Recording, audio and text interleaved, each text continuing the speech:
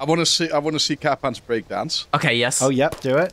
Oh, oh wow.